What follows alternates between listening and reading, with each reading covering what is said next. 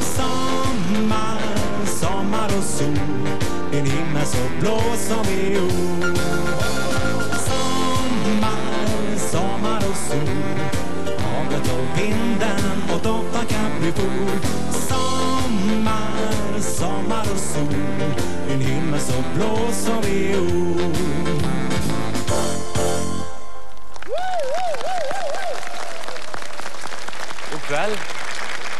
Hjärtligt välkomna till Säffle. Vi är strax söder om denna lilla vackra stad vid Byälven. Vi är ute vid Vänern på ett eh, friluftsområde som heter Duse udde. Det ligger en gammal fyr här.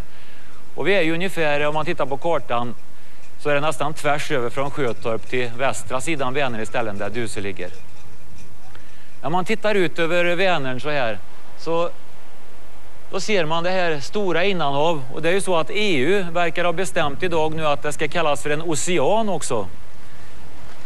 Tittar man så är ju naturen kanske precis likadan som den var för eh, 700-800 år sedan. Och faktum är att vi kan ute här på böljorna se ett vikingaskepp. Visserligen är det nybyggt. Det är ett krigsskepp som heter Glad och som vi ska gå ombord på så småningom. Säffle har man också Säffleoperan. Åsa Berg, hon är ju musikalstjärna uppe i Stockholm nu, men hon har kommit hem. Hon ska bjuda på ett nummer som heter Fiffiga Nanette.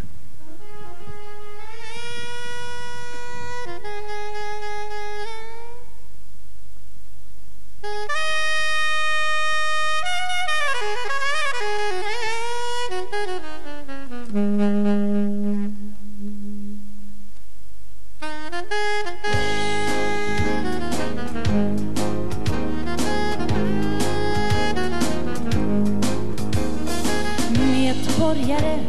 vill göra reklam.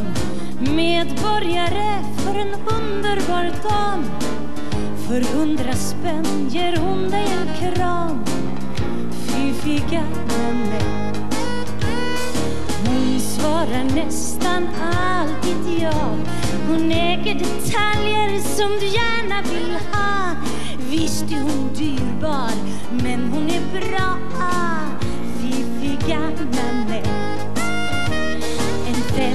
500 spänn på räkningen på. De begär hennes fästman att få. Själv tar hon en spänn eller två. Fiffiga Nanette Visst är hennes fästman ett as. Han vet exakt hur slipsen ska dras. Visst är han skum, men hon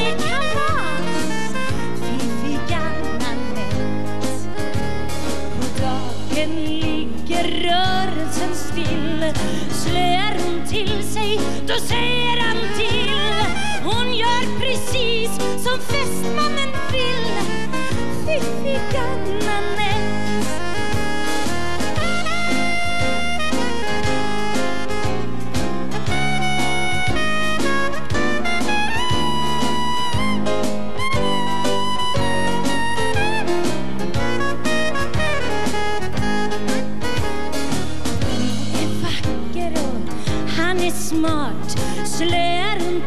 hon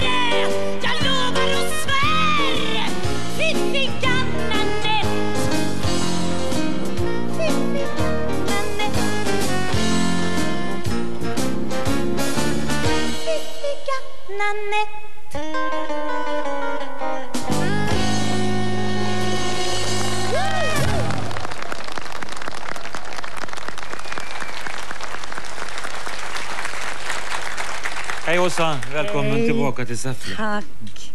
Skönt med hemmapublik. Ja, Men det är så här eh, Nöjda när du är med i Kristina från Duvemåla också? Ja, det tycker jag. Du har spelat länge nu där och nu är du i Stockholm. Hur många föreställningar har det blivit? Det vet jag inte. Över 200 i alla fall. Räcker. För mig alltså. Mm. Och rösten håller? Ja, ja, vi får se. Mi, mi, mi. Ja, mm. Du en gång i tiden började i Säffle i alla fall och då var det, jag tror att första gången jag såg det på scen var i Vita Hästen. mm. Då var du eh, 13 år. och spelade.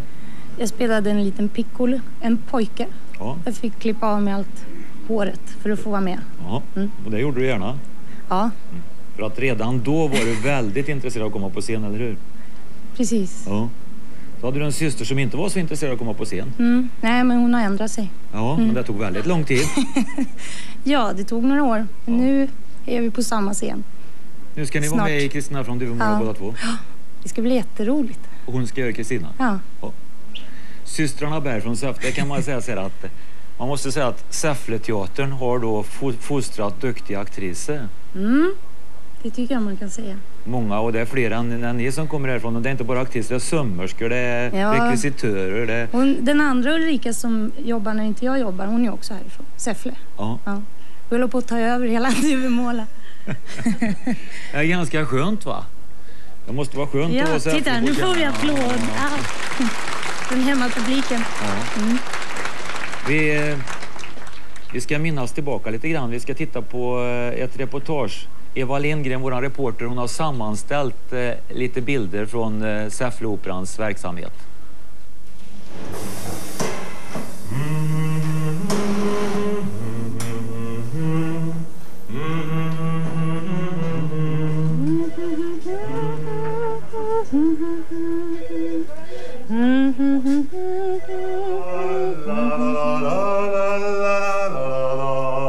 Jag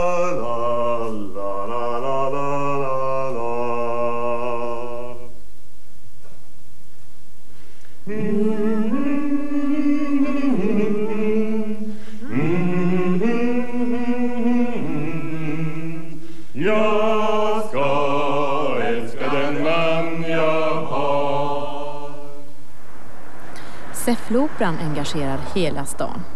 Det hela började med en annons i Säffletidningen 1968 där ledaren för musikskolan Lennart Schultz annonserade efter sångare till en kör. Kören blev en succé och genom samma man så knöts kontakter med artistgruppen Fonofon i Stockholm. För Fonofon var detta ett efterlängtat tillfälle att få ge sig ut på landet och amatörer och proffs visade att tillsammans kan man skapa storverk.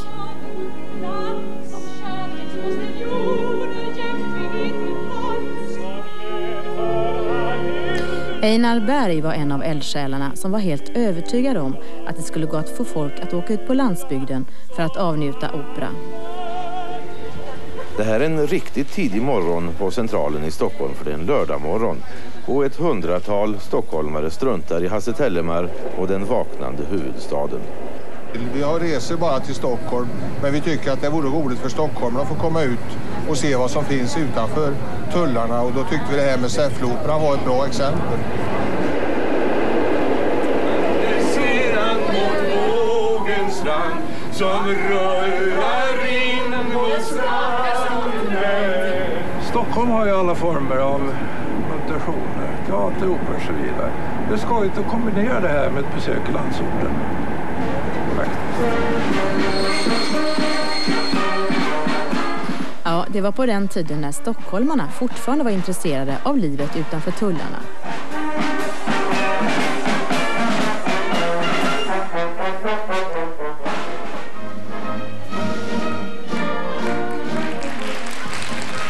Wienerblod, kärleksdrycken, Läderlappen, En natt i Venedig, Glada änkan. Säffleoperan lämnar succé efter succé bakom sig.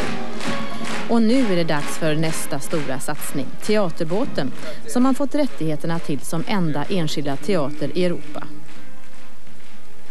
Fiskar ska simma, fåglar ska flyga Kärleken till min man ska jag lyda Ja, Så i höst kan man se Teaterbåten både i London och Säffle.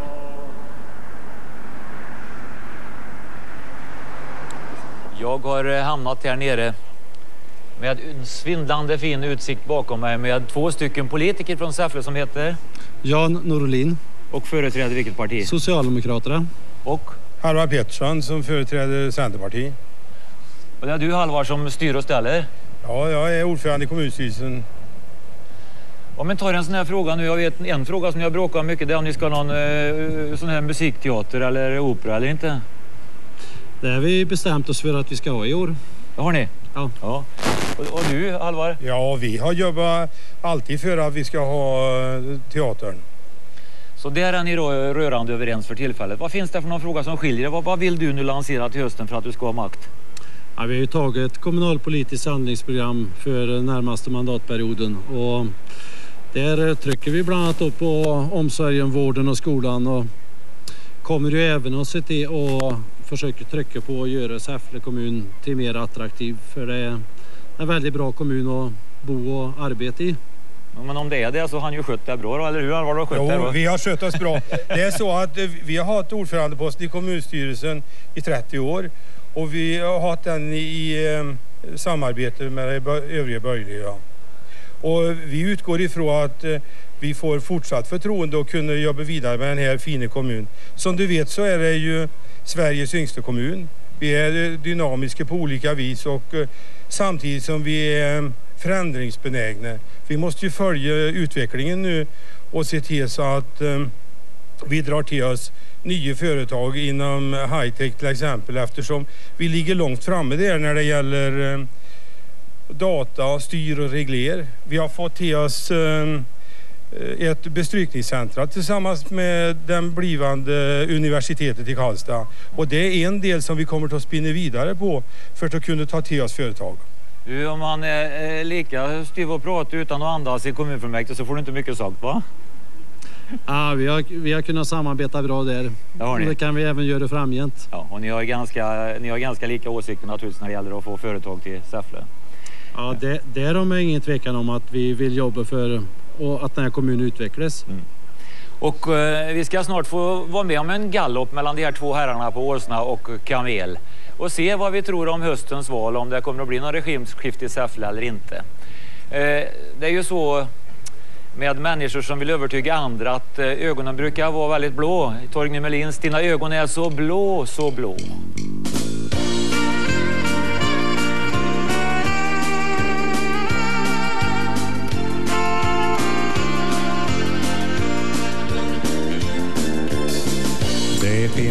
Mycket jag har saknat. Trots att jag fått allt jag vill ha.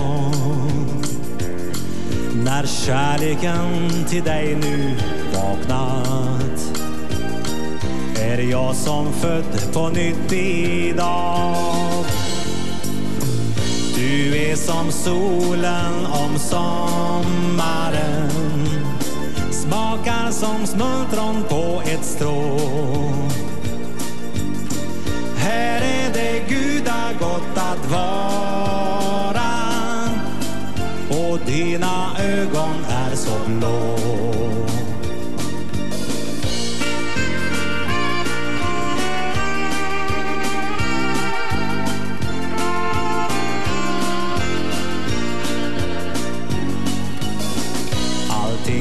Förr fick mig att tveka har blivit det jag längtar till. Och ingenting kan jag dig neka Jag ger dig allt det där du vill. Du är som solen om sommaren. Smakar som smultron på ett strå. Här är det gudagott att vara. Och dina ögon är så blå. Du är som solen om sommaren. Smakar som smultron på ett strå. Gott att vara. Och dina ögon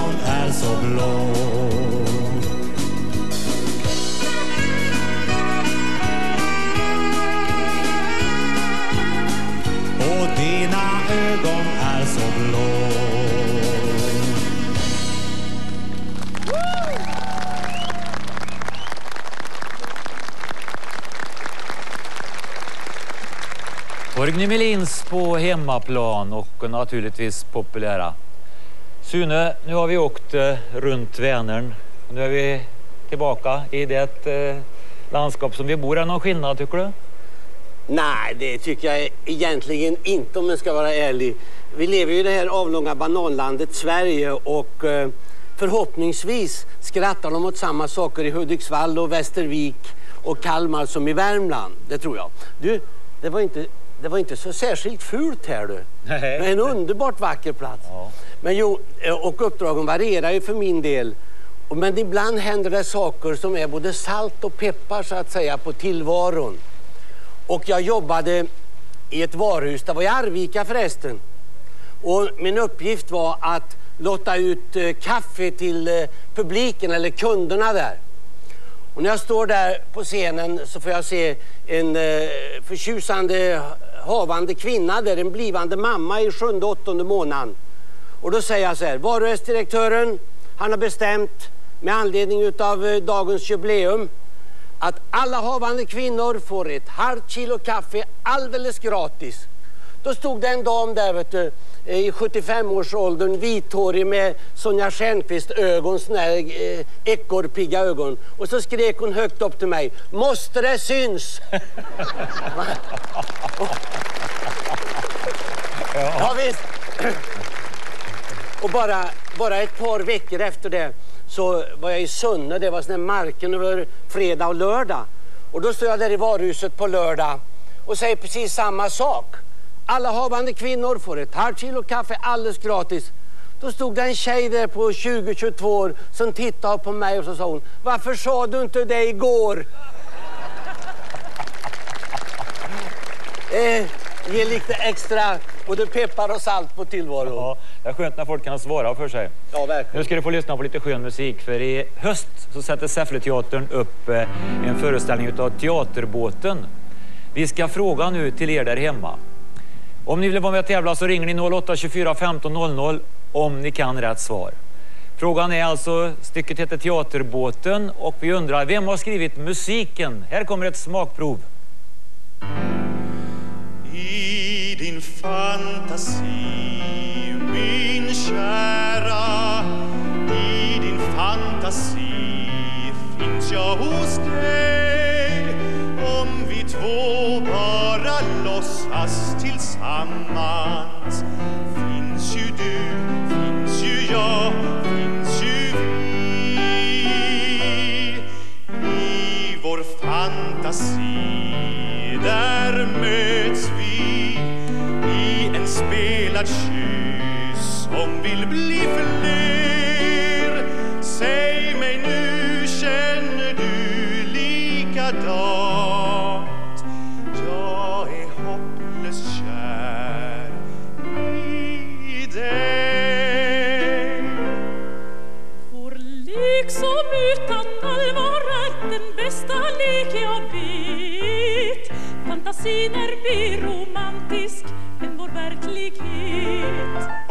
någonting vi drömmer om. För mig blir ouppfyllda. Är det blott en obetydlig teknikalitet. Eftersom vi aldrig träffats, aldrig någonsin riktigt mötts vad rör oss konversionen sak Sätter vi vår plan i verket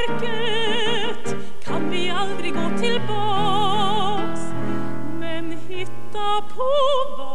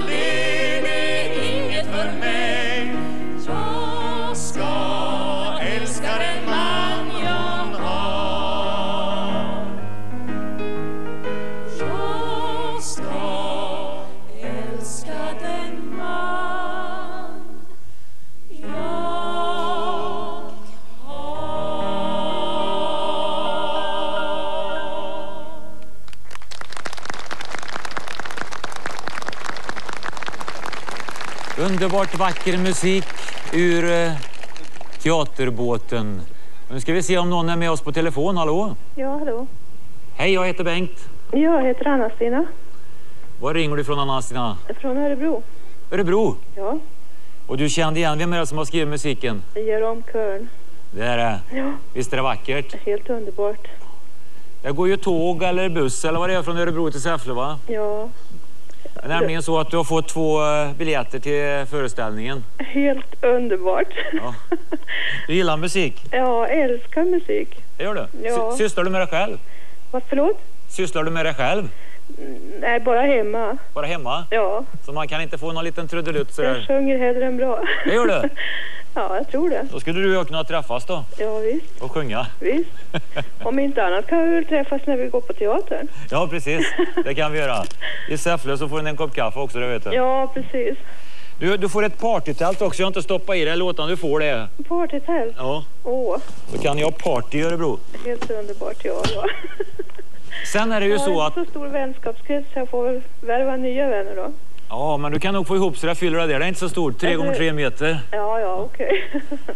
Duka på ett pingisbord går det inte in så många. nej, nej, just det. Mm. Du, Ja. eh, nu är det ju så att du har vunnit det som är i lådan här också. Men jag frågar dig rätt ut. Vill du istället ha 1875 kronor? Nej, jag vill ha lådan. Om jag skulle bjuda då, låt oss säga att jag bjuder 3175 kronor. 3175. Ja. Det är svettigt va? ja, det är svettigt. Nej, jag vill nog ha lådan. Du vill ha lådan? Ja. Ja, där går min gräns. Jaha, Jag kan inte lägga på 50 öre en gång. inte det. Nej, men å andra sidan så vill jag det inte heller för att när jag hör din klara stämma där från Örebro Mm. så förstår jag att du vill bli en viking. Om.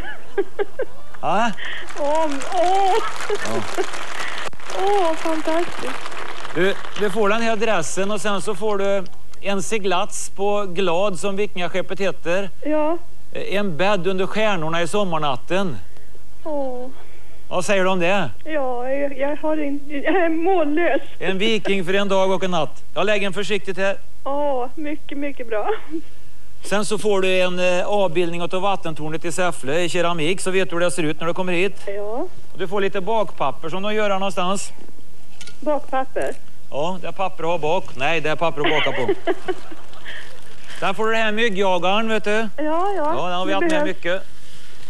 Sen så får du böcker här, två stycken. En om Säffleoperan och en om bygden runt Säffle så du kan läsa på. Du får piltavla så du kan kasta pil. Åh. Jag Är du- kommer inte att vara utan... Jag, vad heter det? Utan... Börjar du bli trött? Nej, nej, nej. Plocka på bara. Du får eh, han eh, trätälja, vet du, påstås jag har bott där. Om, du får honom i glas så kan du se hur han såg ut. Åh, vad fint.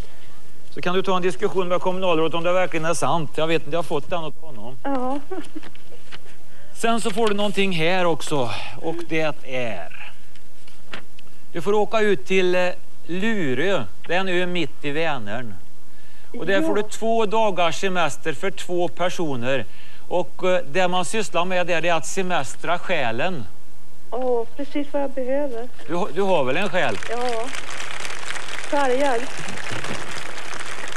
Men jag kan bara tillägga, välj en dag med lugnt väder. För att eh, om du, tack för att du var med förresten, om du nu sätter dig framför tvn igen Ja. så ska du få vara med eh, våran reporter Eva Lindgren. Hon är ute nu på vrakdykning i Vänern som ju har blivit en ocean.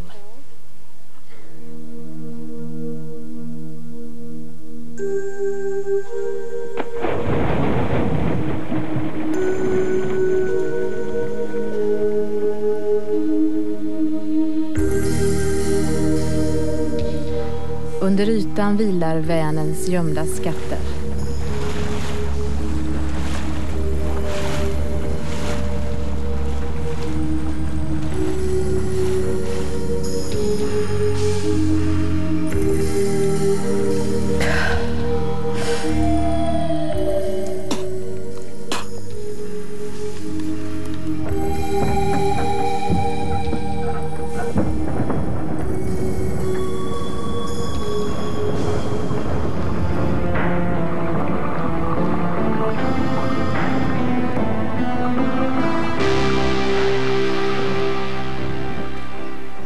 Egentligen nästan varje gång som jag varit ute och dykt och letat så har jag faktiskt hittat någonting nytt.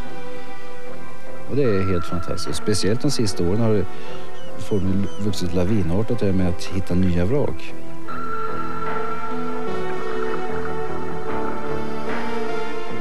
När jag stöter på ett nytt vrak då, då känner man en slags... En... Eh, man känner respekt för det. Man eh, blir nästan... Eh, man blir inte rädd för det, men man, blir, eh, man känner respekt för liksom platsen och, och lämningen i sig. Och,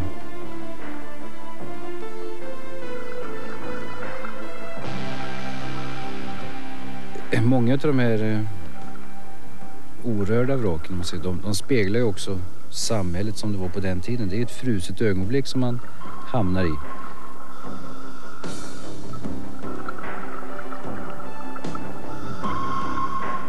De allra flesta vill nog gärna ha med sig en souvenir från ett vrak. Tyvärr är det nog så. Och eh, det är därför som de flesta vraken är ju plockade. Sitter en lanterna eller en klocka eller någonting sånt på, på ett vrak, då försvinner nog det. Om inte första gången så andra gången. Det är ju synd. Därför vill man kanske hålla vissa positioner lite hemliga då. Så att de här vraken får förbli intakta med alla de här sakerna kvar. Det har ju pågått segregation under väldigt många långa tider och eh, det har ju varit väldigt svårnavigerat då. Mycket tack vare den stora skärgård vi har med alla grynnor och öar och kobbar och skär. Och sen får man ju betänka att förr i tiden så fanns ju ingen navigationsutrustning. Sen blåser det ju upp kraftigt, snabbt. Den omtalas som en vresig sjö. Det, det var det nog också. Och är fortfarande egentligen.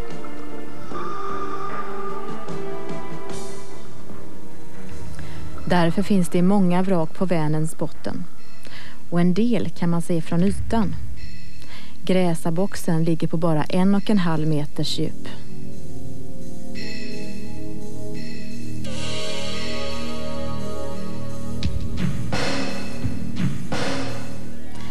I den här trälådan blev en kvinna inlåst och sänkt till botten bara för att man trodde att hon var en häxa.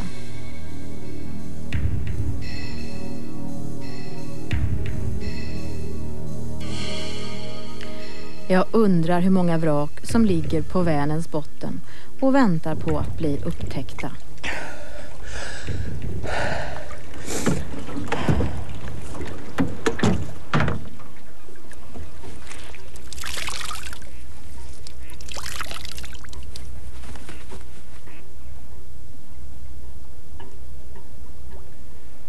Är eh, Roland Pettersson som vi har med oss här som ju är den som håller på med dykningarna i Vänern. Du, eh, nu är det så att eh, för en tid sedan så gjorde ni ett fynd alldeles uppe i Byhalven, en liten bit upp. Ska du berätta var det är någonstans?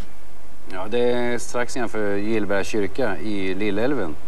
Eh, det fick vi upplysning av ett företag som har grävt ner en kraftlinje där att eh, de har stött på ett vrak. Och för ett antal veckor sedan så var vi där och eh, kikade på det här vraket då.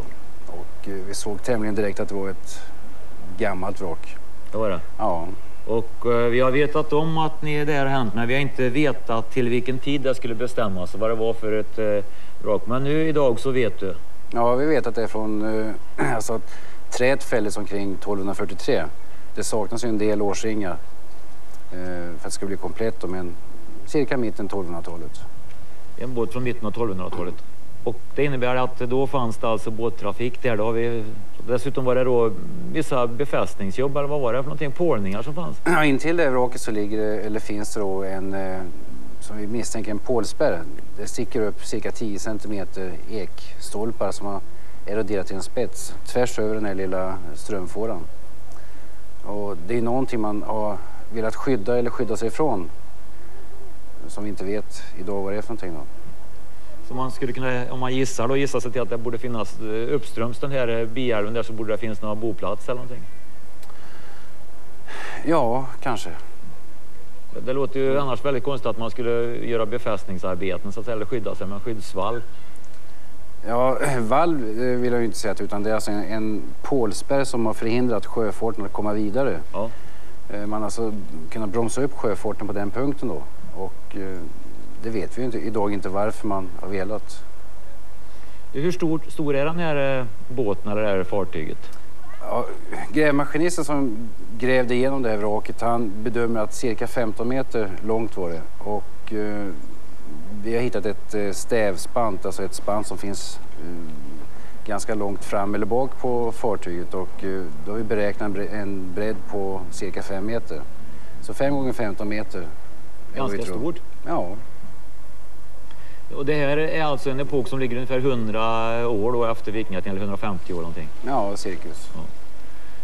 Det, det är ju inte så många sådana fynd som finns i Sverige va? Ja, det finns ju en del vrak som är samtida och även äldre. Men vi misstänker att detta vraket är väldigt välbevarat. Det sticker ut cirka två meter ur en lervägg och eh, det träd som är synligt i vattnet är väldigt välbevarat. Det är kanske en, en sex bord och eh, det är spantet jag pratar om. Resten ligger alltså skyddat under sedimentet eller leran i den här vallen. Och då kan man förmoda att det är välbevarat där. Kommer ni att ta upp det? Det är ju en eh, kreativ kommun här. Så att, jag vet inte, det, det, det kostar väldigt mycket. Det, är, kostar mycket pengar och det är eh, väldigt krävande att eh, göra en sån här insats. Men det finns ju önskemål om det hela. Får vi fram pengar så säljer gärna Vänermuseet upp och hjälper till med, med den biten då. Du, eh, sen så den här vrakletningen som ni håller på med nu genom Vänern, den har ju visat att det finns väldigt mycket vrak i Vänern. Var, varför det? Är är det en, eh, har det varit mycket trafik på Vänern eller är det att det är en farlig sjö att segla på? Jag tror att det är många anledningar. En anledning är ju naturligtvis att eh, det är enklare att transportera tungt gods på vatten. Och eh, om man betänker då när man... Eh, Det begrep, man, man begrep det förr men det är inte lika säkert att man förstår det idag. För det. Ja, kanske. Vänertrafiken är ju i stor diskussion nu, stor fara Ja. för tillfället. Jo. Men eh, när man exempelvis skulle etablera borgarna och kyrkorna 11-1200-tal runt sjön. Det finns alltså runt sjön eh, både och. Då var det betydligt enklare att transportera på båtledes än på de dåliga vägar som vi tror fanns på den tiden. Och även timmer och senare järnvaror. Och... Så det har varit en naturlig kommunikation runt Vänern. Där ser vi också att vi har ju väldigt många beröring. Just det här Vänerlandsprojektet som vi håller på med. Det är väldigt många beröringspunkter på, eh, runt om Vänern därför att man har transporterat sig med båt. Och en annan anledning till att det finns så mycket vrak är att det, det är besvärligt att eh, ta sig från ena ändan till den andra på grund av att vi har Lure skärgård som lite delar av eh, Vänern till två sjöar. Och det kan blåsa upp väldigt snabbt och bli riktigt besvärligt. Även idag så kan det vara besvärande. Det är en svår sjö eh, vid det. eh, Skärgården är så rik alltså. Det. Ja. Du, eh, sen är det så att ni gjorde inte bara det här fyndet utan sen så hittade ni en eh, bil. Ja, vi hittade en eh, amerikanare som eh, visade att det var en eh, Buick, eller Buick med norska skyltar. Ja, du har med dig skylten Ja, också. jag tog med mig registreringsskylten här och eh, Ställer han där. SA2 12044 heter den. Välbevarad skylt har du. Ja, skylten är väldigt välbevarad men bilen är inte i lika bra skick Nej. tyvärr. Och historien bakom denna vet vi ju inte men man kan ju spåna hur länge som helst på vad som har hänt. Ja. Men det, det, det, antagligen så kom man dit under andra världskriget och det var väl så att det var någon som flydde från Norge som jagades och blev skadeskjuten eller någonting och vurpade där. Vi, det vet man inte. Nej, kanske, eller också är det någon som helt enkelt gjort ett försäkringsbedrägeri. Det kanske är.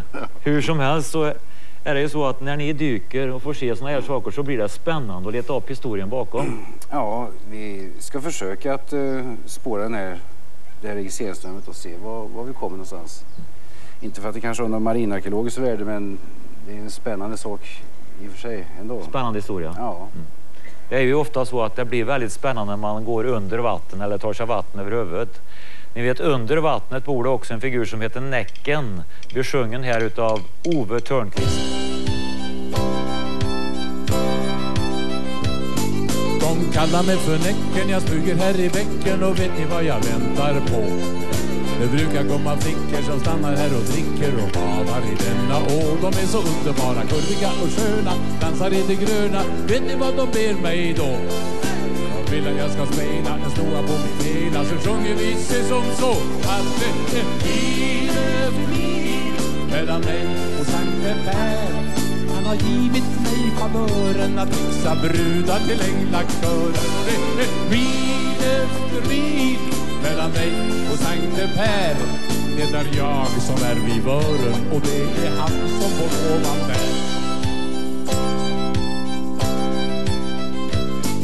Hösten skymmer solen, jag gnider på fiolen och kikar genom mitt buskage. Det kommer inga kunder och knyter något förbund. Här ikväll blir det inget gage. Jag sitter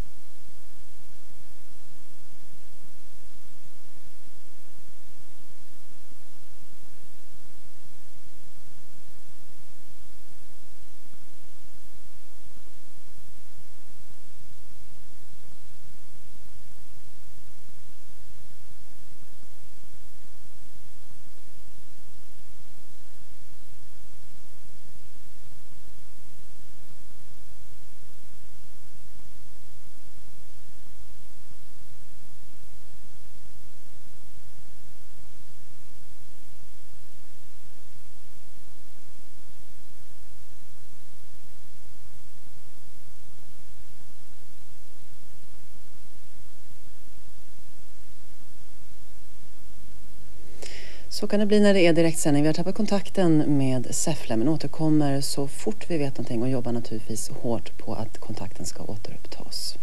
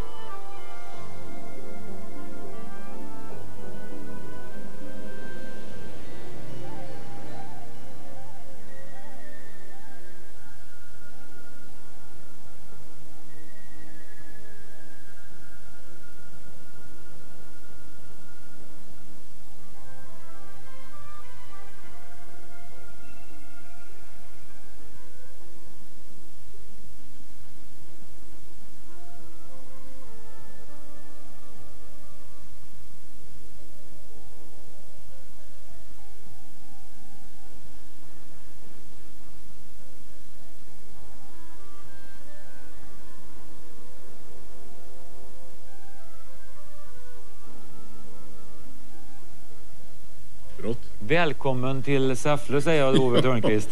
Tack så hjärtligt. Man tackar mjukost. Ja. Du, eh, fortfarande är det så att dina låtar lever och är lika intressanta hela tiden. Folk vill lyssna på dem. Jaha. Lyssnar du? Ja, det gör jag ofta. Finns det någon mer? Ja, jag Ja, Oj, vi har tre, fyra stycken här. I Uppsala på Stadsteatern så är det Ja. fortfarande så att där har de eh, gjort en eh, musikal med dina låtar. De har gjort musikal. De har plockat ut 35-36 låtar och svängt ihop en musikal. Inte ett ord, bara sånger. Jo, alltså ord till sångerna. Men Ja. inga repliker, så här inget pratt. Nej, nej, nej, och det kanske inte behövs. Nej, det svänger till så att eh, kajorna runt domkyrkan, de seglar nu över Stadsteatern istället. Och lyssnar. Ja, det är bättre än kyrktoppen tycker de. Ja. Nej, men de har utsålt även i höst, sägs det. Kul. Kul. Och sen har du gjort eh, musik till en eh, eh, musikal om, om arbete eller, icke, eller arbetslöshet. Ja. De ringde till Florida och frågade om jag kunde skriva något roligt om arbetslösheten. Ja. hur roligt ska det vara? ja. men det blir kul också och, och det lär vara en bra revy. Men eh, du ska väl fråga om jag eh, har några anknytningar till Säffle? Ska du inte göra det? det? Nej, men jag har en kompis som har bott i Säffle och, och nu har jag gjort en liten limerick om honom. Det går inte att rimma på Säffle som du vet. Och det kunde inte min kompis heller. Jag hade en kompis i Säffle som gifte sig långt upp i Gäffle. Men han kom tillbaka och sa att han smaka på dummer och rakt inget träffle. Det är bra. Ja, köper du det? Ja, jag köper det.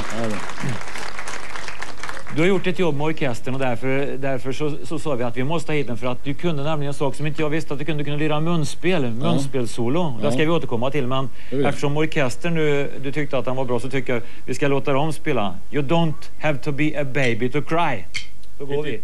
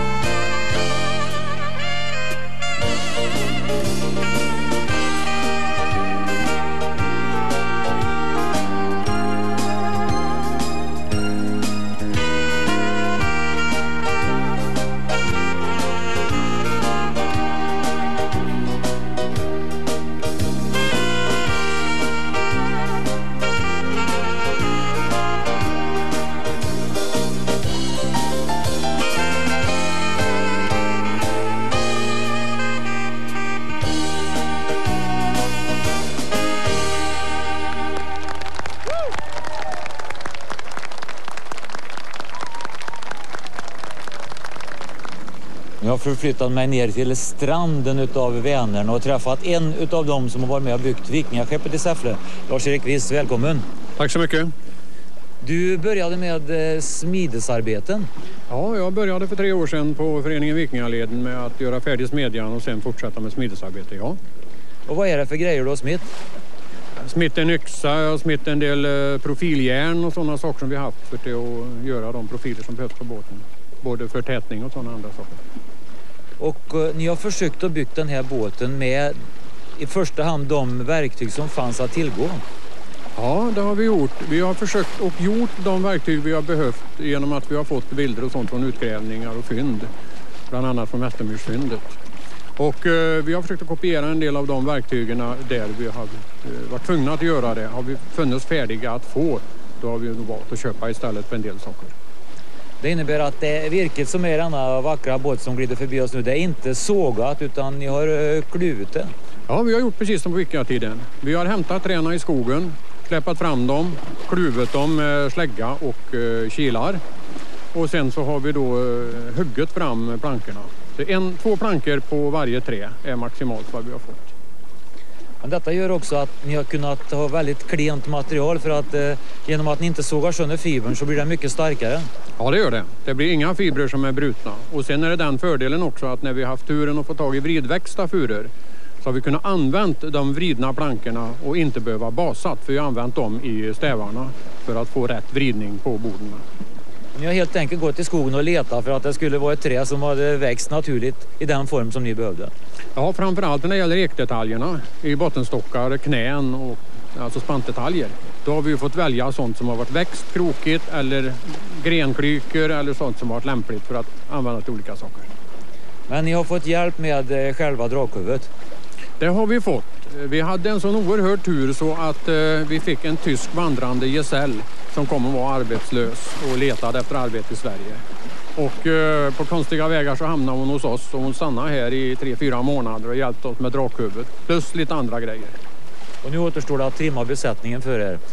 Jag, jag tror inte att eh, på vikingatiden att det fanns varm korv. Men eh, det smakar ju gott och låter bra. Varm korv bogey med Ove Törnqvist.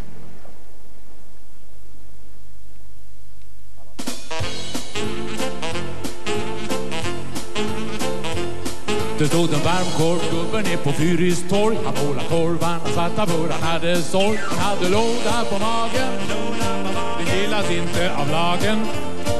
Fick han inte ha, nej det var inte bra att ha en låda på magen. Som när han hade smetat halka på sin sista slang. Han tänkte efter om han hade någon byta lang. Och med sin låda på magen. Han kilade inne här i en gitarrbutik som med fin musik i lilla lådan på magen. Yeah! Sjunger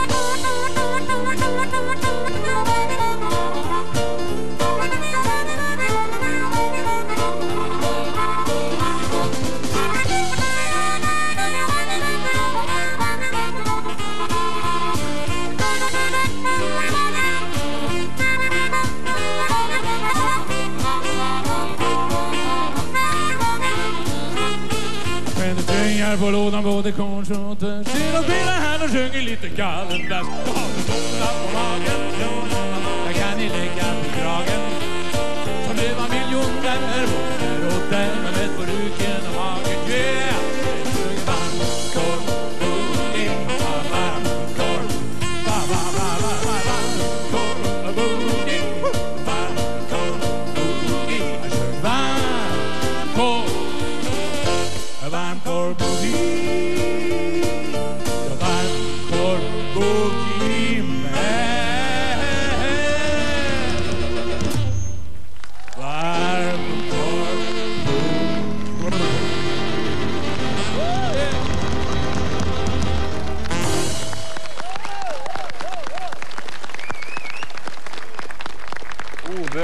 Törnqvist med munspelsolo. munspelssolo. Jag ska bara säga att vi hade ett litet avbrott i programmet. Någonstans på vägen från eh, Säffle till Stockholm så försvann det. Men eh, det var ett litet tekniskt fel. Nu ska vi se våra politiker tävla igen. Och det är som ni vet en galllopp. Och det är frågan om vilken regim ska det bli i Säffle till hösten. Vi är klart för start. Vänd åsnan. Det är oppositionen på åsna och eh, det är sittande regimen på kamel. Åsnan verkar stå åt fel håll tycker jag, men vi vänder upp åsnan. Vi säger på era platser, färdiga och kör! Där är åsnan på väg och kamelen på väg.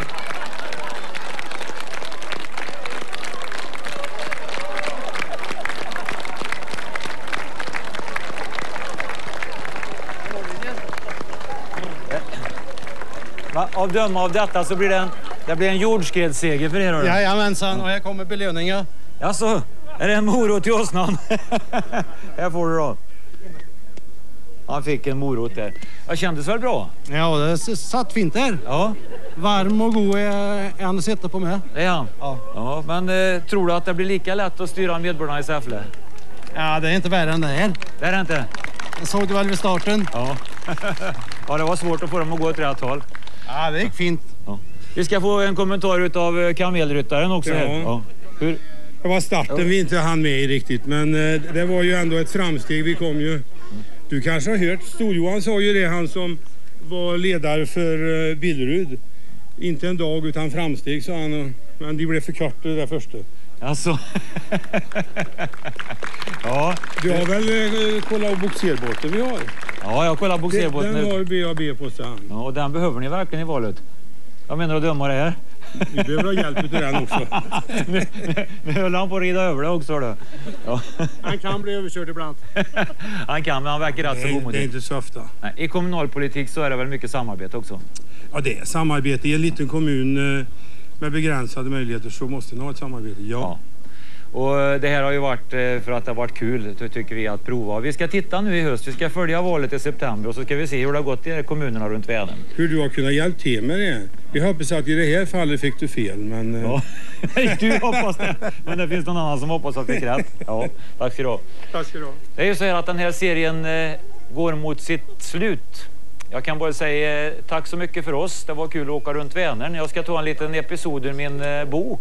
Varför växer gräset uppåt? Och det hoppas jag ska hjälpa er att under vintern se lite positivt på tillvaron. Där står en man och han ska gå ut till bilen, det är en hundra steg ungefär. En sommar som i år, det regnar ner va. Och han tänker, ska jag, ska jag ge mig ut i de hundra stegen? Då kommer det en liten grabb och cyklar förbi och så skriker han, oj vad härligt det regnar!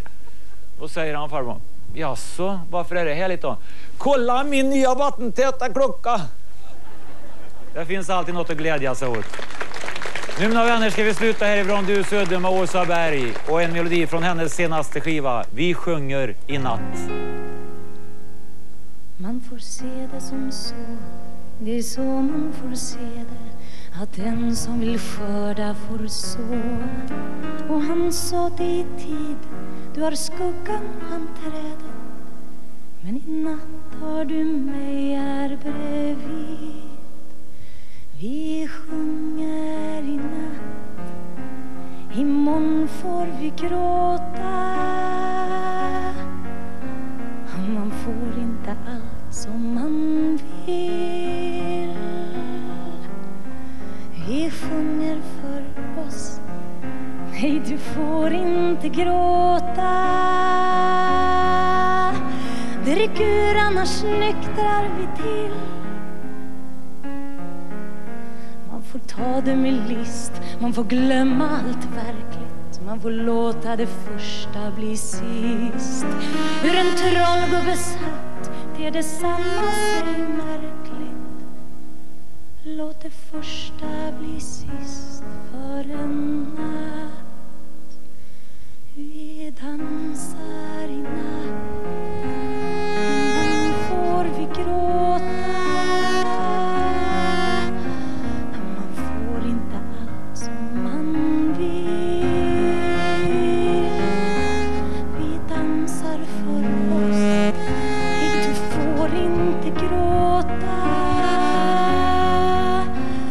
Drick ur, annars nyktrar vi till.